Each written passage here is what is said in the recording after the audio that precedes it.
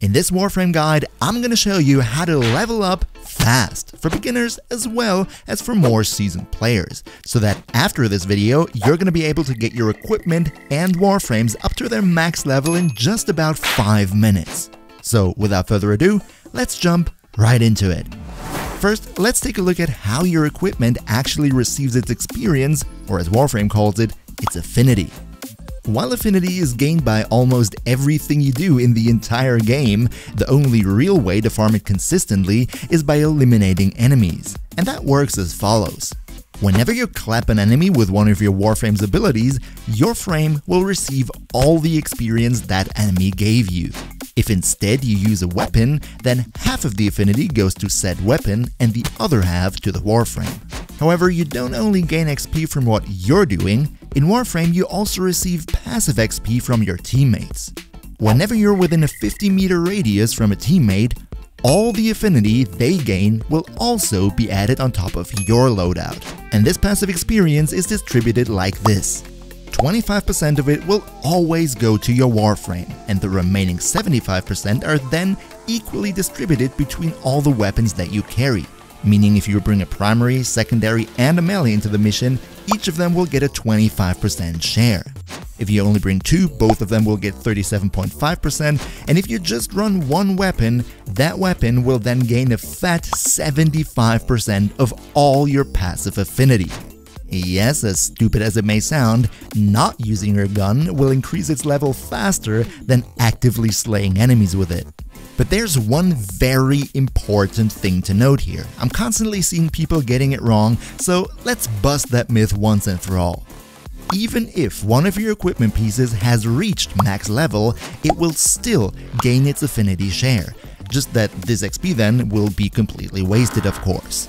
So no, if you bring 3 weapons into the mission and 2 of them are already level 30, that does not mean that the third weapon will gain the 75% because the others are already maxed out. No, all of them will still get only 25%, but for the maxed out weapons of course the 25% will then be wasted and the one weapon you want to level will only get 25 meaning if you want to level one item in specific, then only bring that one item and no other one. And while all your equipment is gaining affinity, how about you help me out gaining a like so the video can spread to more people? Thanks for that. So now that we know how the game calculates your XP, let's take a look at how to get a lot of it fast. First off, you can drastically increase your standard affinity gain, giving you tons more XP from every enemy. One method to do so would be owning a Smeeta Kavat and equipping it with the mod Charm. With Charm, your Smeeta will constantly bless you with random buffs during your mission, one of which is double affinity for 2 minutes. Of course, since the buffs are all random, you won't always get this boost in specific, but still, having a Smeeta with you while leveling is gonna be better than nothing at all. The next thing you definitely want to do before starting your daily XP grind is visiting a busy relay and either waiting or kindly asking for an affinity blessing. As I also said in my Mastery Rank guide, Mastery Rank 30 plus players can give a 20% affinity boost for 3 hours to other players on the same relay. A nice and welcome little boost. And in case for whatever reason you're watching this video and you are MR30 plus, just go and give it to yourself. Then there are also sporadic double affinity weekends, so check the official Warframe announcements for that. And lastly, of course, if you're willing to spend a little bit of platinum, you can simply buy an affinity booster from the market. Just note that this is not a requirement for any of today's methods and that you can also level up your equipment fast without it. Paid boosters are simply an optional little extra speed up and not needed. In case you decide to get one, I recommend you prepare a whole lot of equipment that needs levels first, and then you go with just a 3 day one for 30 plat, do a hardcore leveling weekend, maybe with your friends together, and that's it. Longer affinity boosters are really only used in very specific cases. And the best thing is, all these methods I just mentioned stack with each other, meaning just in the hypothetical case you had a purchase booster on a double affinity weekend with the blessing from a relay and your Smeeta buff up all at the same time, you'd theoretically gain 10 times the normal affinity, which is of course complete overkill. Usually one of these is already more than enough to help. Just like subbing to the channel helps you stay up to date on everything regarding Warframe. Welcome to the crew. And with all these buffs on, let's finally get into where and how to do the practical leveling. The first location is an all-time favorite of mine and especially great for newer players, and that would be the mission Helene on Saturn.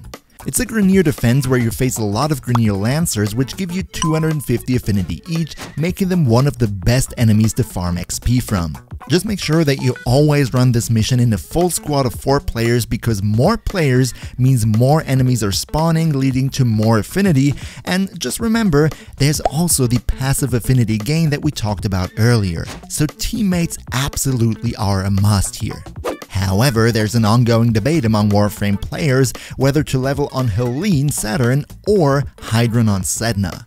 Let me tell you, yes, Hydron gives you a little bit more XP due to the higher enemy level, but, that's a big but, Given the nature of defense missions, it doesn't matter if you max out your equipment at wave 7 or wave 9. You'll still have to wait until wave 10 before you can extract. So it just doesn't make a practical difference. Also, on Saturn, you'll have plastids and orokin cells as resource drops, which is great, whereas Sedna in contrast only drops garbage.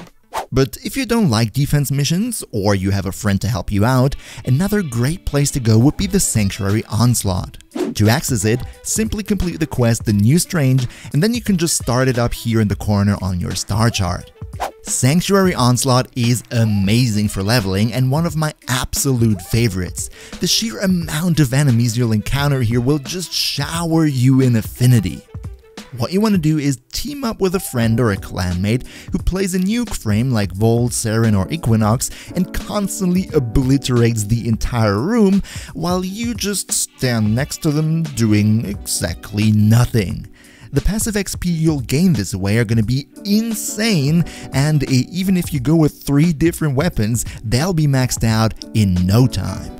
In case you don't have someone to help you, you can of course always go with 4 random players in a squad, however I personally prefer Helene in this case, since your affinity gain in Sanctuary Onslaught strongly depends on your team, the random tile set and the enemy faction you're up against. And from my personal experience, with random, Helene is equally fast and more consistent.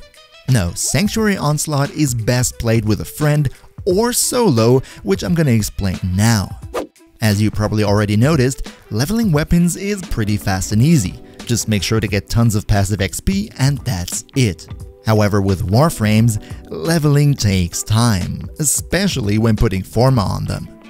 Firstly, this is because Warframes, by design, need twice the affinity to be maxed out compared to weapons, and secondly, because they only ever get 25% of your passive affinity. So in order to most efficiently level your Warframe, you have to use their abilities to slay enemies like I said in the beginning of the video, because only then all the affinity is granted to the Warframe itself. And while damage dealing frames like Mesa or Saryn surely won't have any problems with that, uh, good luck trying to get anything done with supporters like Trinity who don't have any meaningful damage output. What you want to do in this case is currently the best and fastest way to max out your Warframes, getting you up to level 30 in just about 5 minutes. However, this method is a bit more advanced, so if you can't pull it off yourself just yet, stick to the other tactics for now, they're also absolutely fine. In order to pull this off, you'll have to have the Helminth system unlocked already and Gauss subsumed into it. For the leveling process, you'll infuse Gauss ability Thermal Sunder onto the Warframe you're trying to level, and then build it into a lot of range, strength, and decent efficiency as good as you can. Molt Augmented would be a great arcane here, also Arcane Grace for your energy if you have it, and Archon Vitality would be a neat pick to deal even more heat procs. Again, options, no musts. What you do with this now is actually pretty easy. Head to Sanctuary Onslaught solo and just spam your Thermal Sunder all over the place. It's not the perfect room clearing ability, sure, but it's the best the Helminth system has to offer in terms of damage output and it'll help those frames who can't deal with enemies by themselves. If you run this method and you get a bit lucky with your tile set in the enemy faction, preferably Grineer, then you'll have your Warframe of choice maxed out at around 5 minutes plus minus a bit. If you want to hear more about this specific method, Grind Hard Squad has made a great guide on this recently over on his channel, so go and check that one out as well if you like. But Gauss and Thermal Sunder are not the only Helminth shenanigans you can take advantage of for speed leveling. A very popular tactic at the moment is to infuse Banshee Silence at around 130% ability range and then carpet bomb Grineer with the Kuva Brahma in an exterminate mission either on Saturn or on Sedna, whichever tileset you prefer. However, with the announced return of self-damage in the near future, I'm not so sure if Kuva Brahma carpet bombing is going to be viable for much longer. Another method that I've personally been using with um, at least decent success is infusing Equinox skill, Rest and Rage, with the Calm and Frenzy Augment.